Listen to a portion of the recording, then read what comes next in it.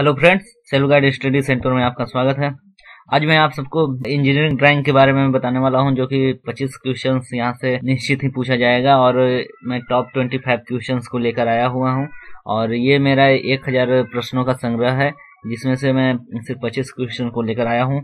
आइए चलिए देखते हैं वो सारे क्वेश्चन कौन कौन से हैं। तो वीडियो शुरू करने से मैं, पहले मैं आप सबसे एक रिक्वेस्ट करना चाहूँगा कि जो लोग पहली बार ये वीडियो देख रहे हैं मेरे चैनल को सब्सक्राइब ज़रूर कर लें और बेल के आइकन को क्लिक ज़रूर करें ठीक है तो चलिए देखते हैं। यहाँ देखिए, पहला क्वेश्चन पूछा गया है कि गर्मी के मौसम में अच्छे पेपर पर साधारण लाइनों के बनाने के लिए निम्न पेंसिल प्रयोग में लाते हैं। तो ये सब गर्मी के मौसम में अच्छे पेपर पर साधारण लाइनों के बनाने के लिए कौन से पेंसिल का प्रयोग किया जाता है? तो ये ऑप्शन नंबर ए सही हो जाएगा। फोर एच पेंसिल का प्रयोग किया जाता है। ठीक है? और इसके बाद देखिए, अगला क्वेश्चन है।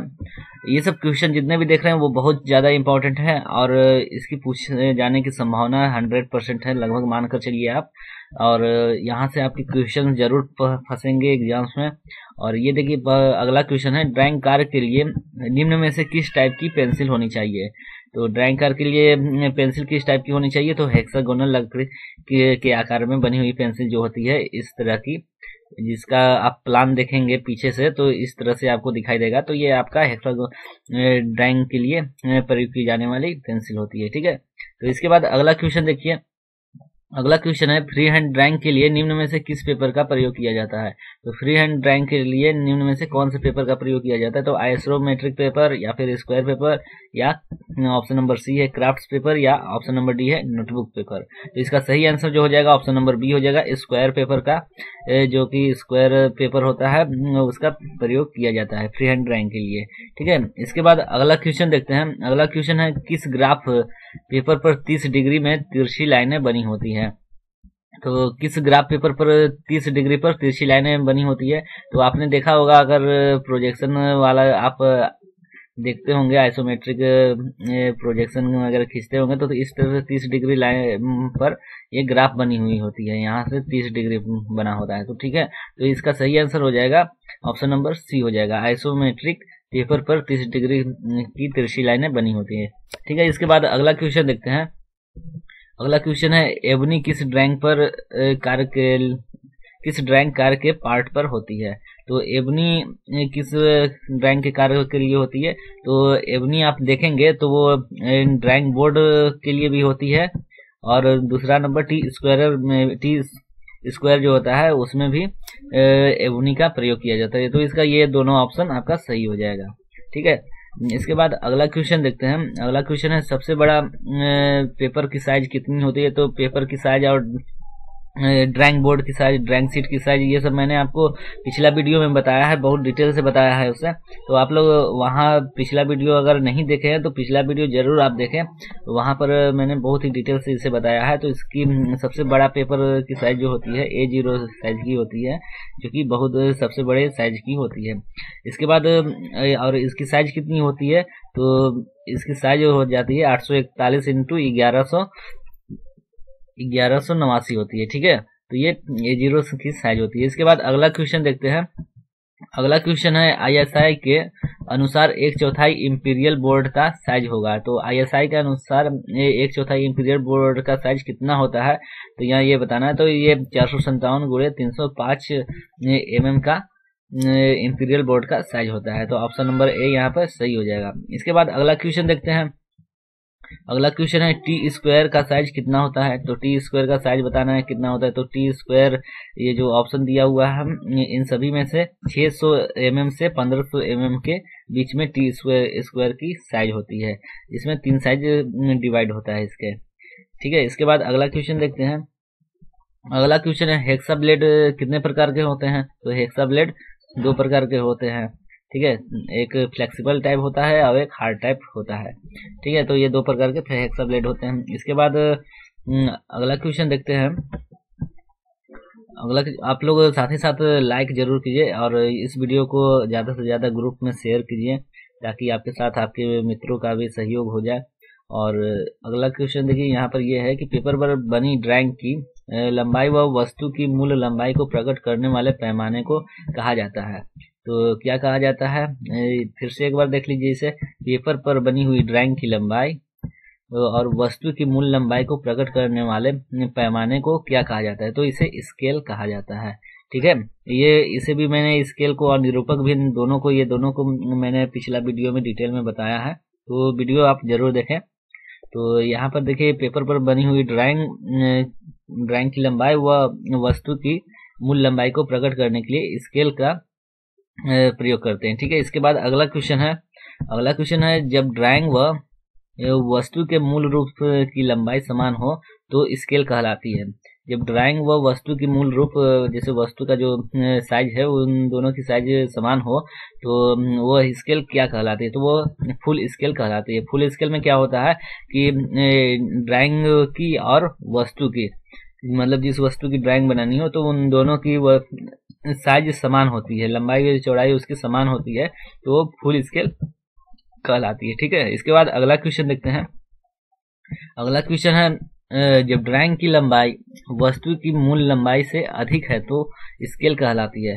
जब ड्राइंग की लंबाई वस्तु की मूल लंबाई से अधिक होती है, जब ड्राइंग की लंबाई, जैसे ड्राइंग की लंबाई आपका जो ड्राइंग अब बनाना है, उसकी लंबाई वस्तु की मूल लंबाई से अधिक हो जैसे ये लंबाई अधिक हो गई इसकी तो ये क्या कहलाती है? तो ये कि, किस प्रकार का स्केल कहलाती है? तो यहाँ बताना है तो ये एन लार्जिक स्केल कहलाती है क्योंकि इन लार्ज होता है मतलब कि अधिक लंबा होता है ठीक है? और जो लोग पहली बार इस वीडियो को देख रहे हैं वो मेरे चैनल को सब्सक्राइब ज़रूर करें और बेल के आइकन को क्लिक ज़रूर करें ठीक है? इसके बाद देखिए अगला क्वेश्चन है फुल साइज़ का स्केल कौन सा है? तो फुल साइज़ का स्केल यहाँ बताना है तो वन अनुपात वन का ये फुल साइज़ का स्केल होता है। ठीक है, इसके बाद अगला क्वेश्चन है। इस क्वेश्चन में देखिए, दिया हुआ है कि ड्राइंग में किसी वस्तु की लंबाई तथा उसकी वास्तविक लंबाई के अनुपात को क्या कहा जाता है? ड्राइंग में किसी वस्तु की लंबाई को, ठीक है, तथा उसकी वास्तविक लंबाई के अनुपात को क्या कहा जाता है? तो ये पीछे भी मैंने बताया है कि निरूपक भिन्न कहा जाता है, ड्राइंग में वस्तु की लंबाई और उसके वास्तविक लंबाई के अनुपात को निरूपक भिन्न कहा जाता है, ठीक है? तो इस तरह से ये अगला क्वेश्चन हम देखते हैं। आपको वीडियो अच्छा लग रहा हो तो लाइक ज़रूर दबा दीजिए, क्योंकि लाइक दबाने से आपका कुछ बिगड़ेगा नहीं, बल्कि आपके लिए फ़ायदा ही होगा, क्योंकि ये आपके यूट्यूब चैनल में ही सेव हो जाएगा। आप जब चाहें इस वीडियो को देख सकते हैं। ठीक है, इसके बाद अगला क्वेश्चन देखते हैं।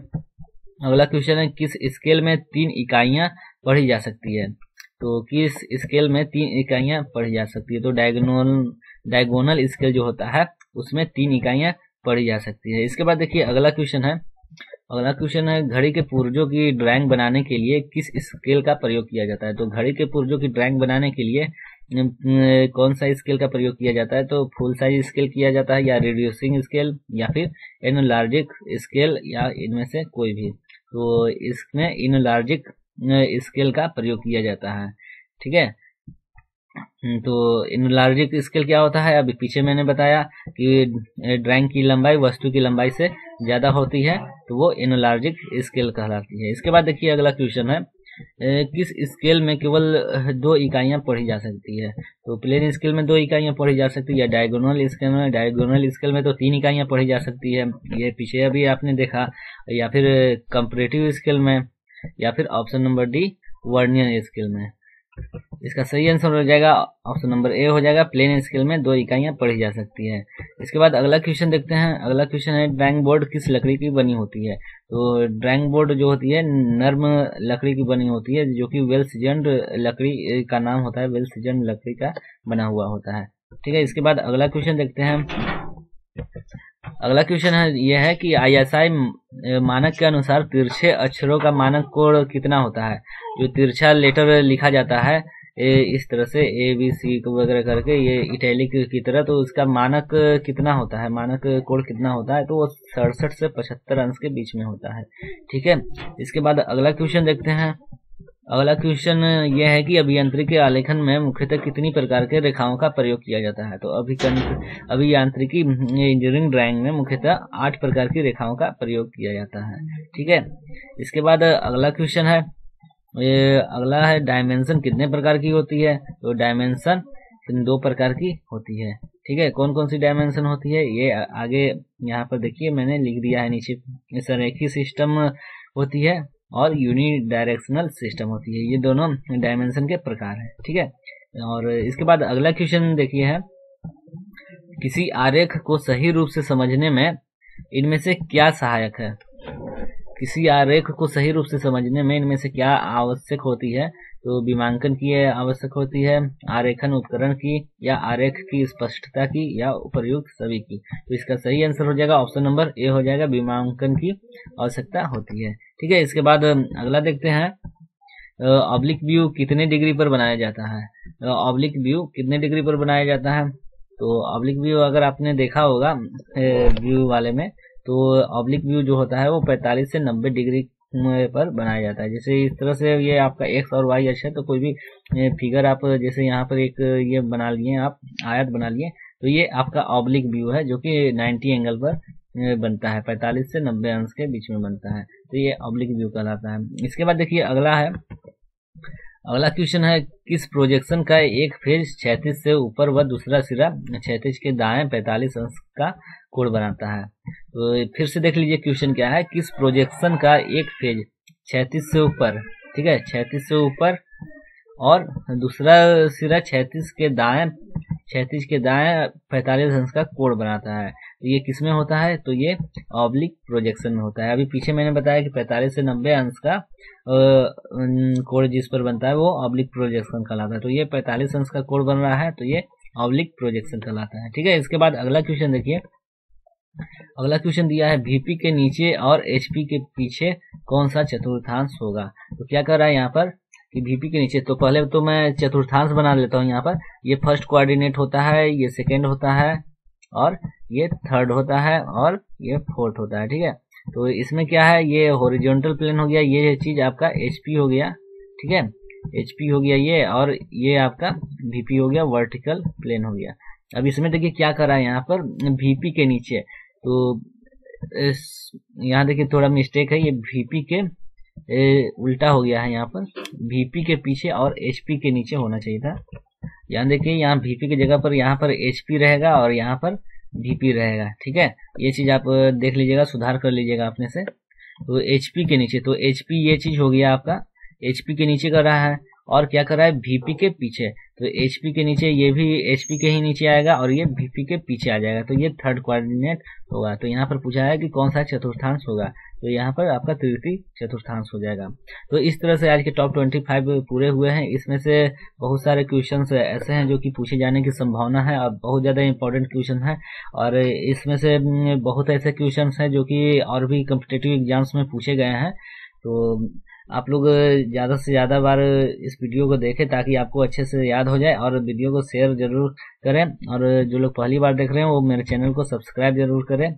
और अगर आप लोग मेरे व्हाट्सएप ग्रुप से जुड़ना चाहते हैं तो उसका लिंक डिस्क्रिप्शन बॉक्स में दिया हुआ है। व्हाट्सएप ग्रुप से जुड़ सकते हैं और फेसबुक पर फेसबुक पेज है सेल्फ गाइड स्टडी सेंटर का। फेसबुक पेज को लाइक कीजिए, वहाँ से आपको स्टडी मटेरियल वगैरह वहाँ पर आपको मिल जाएगी। बहुत सारे स्टडी मटेरियल है। ठीक है? तो वीडियो देखने के लिए धन्यवाद। मिलते हैं कल अगले वीडियो के साथ। तब तक के लिए धन्यवाद।